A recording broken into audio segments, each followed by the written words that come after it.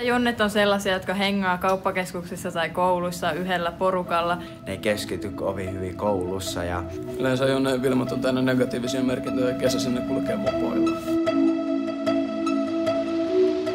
Nuorista sanotaan, että me ollaan vain jotain jonneja, jotka ei pysty tekemään mitään hyödyllistä. Mutta meillä on oikeasti kädet ja sydän ja me pystytään tekemään vaikka mitä hyvää.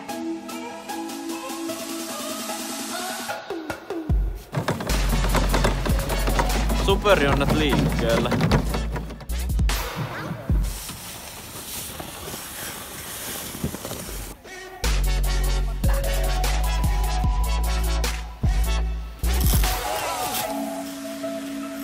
Me päätettiin pelastaa espoolaiset lumikaaukselta jo ennen kuin he ovat edes heränneet. Mukavaa työntekoa.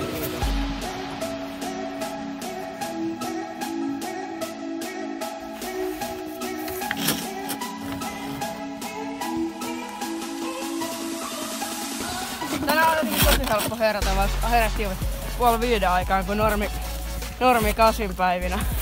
Matikka ei oikein motivoi. Niin, kiitoksia. Tämä oli hieno yllätys näin lumisena aamuna. Että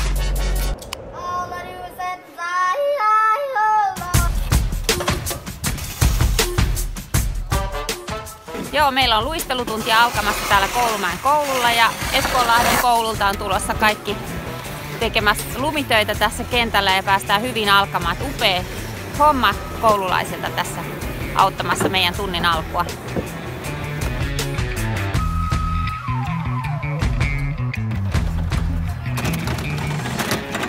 Tässä olisi vähän haastetta. Meidän vanhukset tarvis ilmapaikkaa vapaaksi, jotta he pääsee ruokailemaan.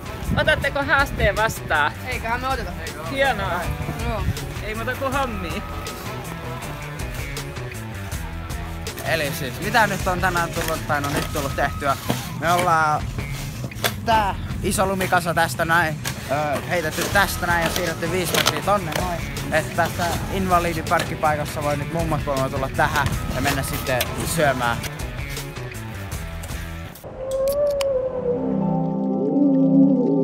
Ihmiset on tullut tosi paljon kiittelemään ja siitä on tullut hyvä mieli.